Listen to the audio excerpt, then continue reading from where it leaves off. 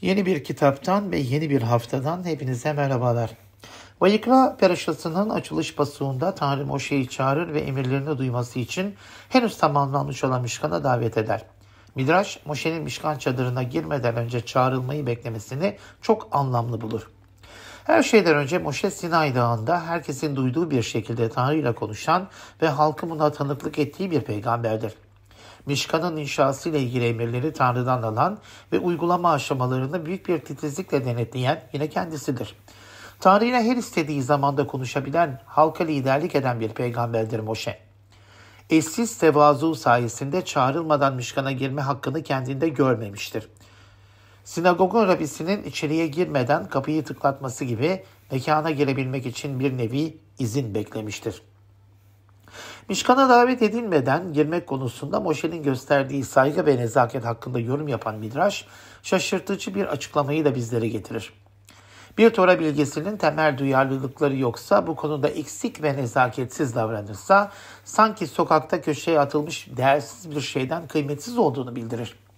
Burada sorulması gereken soru neden bilgelerin sokakta kenara atılmış değersiz bir şeyden bile kıymetsiz bulunduğudur. Bu soruya verilen cevap aslında mantıklıdır. Sokakta, sokakta kenara atılmış değersiz bir şeyin yaydığı kötü koku insanları kendinden uzaklaştırır. İnsanlar uzaklaştığı için de zarar görmez ve olumsuz etkilenmez. Halbuki bir Tora bilgisi kaba ve nezaketsiz de olsa bilgisi ve dindarlığıyla kişileri kendine çekebilir. İnsanlar bilgisinden yararlanmaya tutkulu bir şekilde bağlanabilirler misva performansı nedeniyle ona saygı duyarlar ve yakın dururlar. Ancak kaba ve nezaket dışı davranışlarını gören insanlar bundan etkilenirler ve bunları kendileri için örnek bir davranış olarak benimseyebilirler. Tora'nın hiç benimsemediği olumsuz davranışları ne yazık ki ondan öğrenebilirler. Günümüzde alakayı benimseyerek buna göre yaşayan dindar Yahudiler hakam veya bilgi olarak nitelendirilmektedir. Yahudi olmayan veya seküler bir yaşam tarzını benimsemiş olan Yahudiler, kipa takan bir erkek veya saçlarını örten bir Yahudi kadın gördüklerinde onları dindar Yahudilerin temsilcisi gibi görürler ve bütün dindarlarla ilgili genelleme yapmaya başlarlar.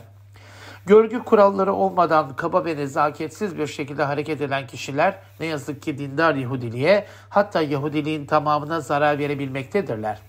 Tora öğrenimine devam etmeleri, şabat, kaşrut gibi kuralları tatbik etmeleri hiçbir zaman kaba ve nezaketsiz davranışları için bir mazeret teşkil etmez. Yahudi yaşam tarzını benimsemiş kişiler olarak nezaket ve edep konusunda çok daha dikkatli davranmak bizleri son derece tehlikeli bir ciddi bir yasak olan Hilul Haşem'den koruyacaktır. Misvaları uygularken etrafımızda göstereceğimiz nezaket çok büyük bir misva olan Tanrı'nın ismini yüceltme yani Kiddush Hashem yapma konusunda bize yardımcı olacaktır. Bu hafta aynı zamanda Şabat Zahor yani Purim'den hemen önce kutlayacağımız Şabat. Şabat Zahor'da Amalek'in yaptığı yanlışı bize karşı yapmış olduğu atağı hatırlamak ve hiçbir zaman akıldan çıkarmamak gerekir. Bu yüzden sinagoglarda bu önemli parçayı dinlemeye, Rabbinin sözlerini dinlemeye ve onun bilgisini susuzlukla içmeye gayret ediniz. Hepinize öncelikle Şabat Shalom, hemen arkasından kutlayacağımız Purim için Purim Sameh.